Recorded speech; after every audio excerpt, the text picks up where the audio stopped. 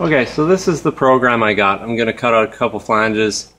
Uh, some parts are nested within parts. Uh, there's small bolt holes and perimeter cutting. So there is some torch lockout and there's some where it's in auto mode and, and monitoring the cut while it's going. So I'm cutting 10 gauge steel, so I'm set at a Hypertherm PowerMax 65 at 45 amps.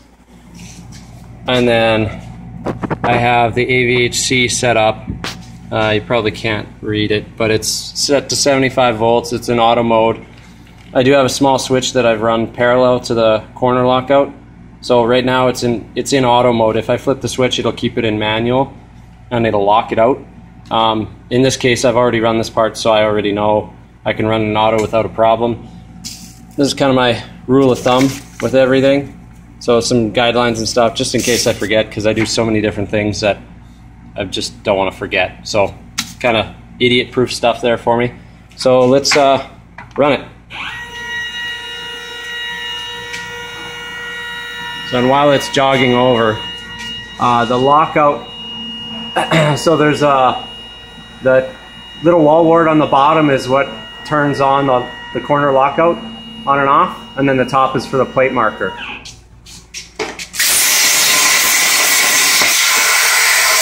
So it's cutting some bolt holes right now. And you can see that green light. That's the corner lockout turning on and off.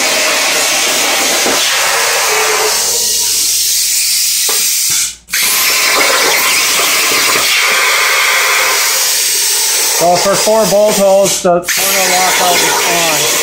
And now, it's in auto mode.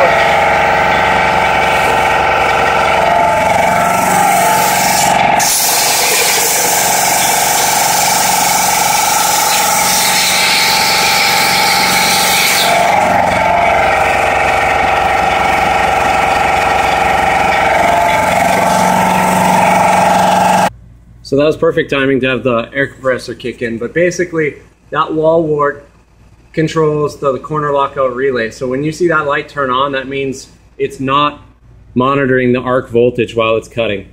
So that only happens for bolt holes or any female features that I've defined. So in this case, okay, so I'm going to cut the next part, which it is a, a part nested within a part.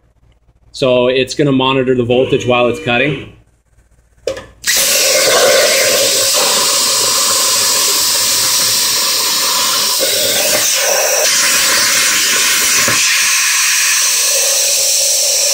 So that is an example of bolt holes. So I just did the perimeter of that part and it cut with in auto mode and now it's doing bolt holes that it'll cut with it locked out. So see this is the next bolt.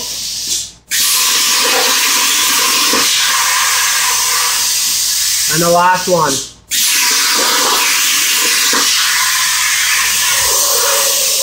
And now it'll cut the inside. And this is in auto mode. So see how it's off? And now it'll cut the outside of the part in auto mode.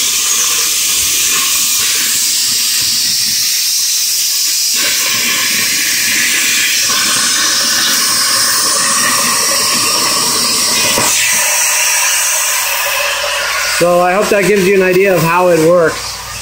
It's, it's pretty slick.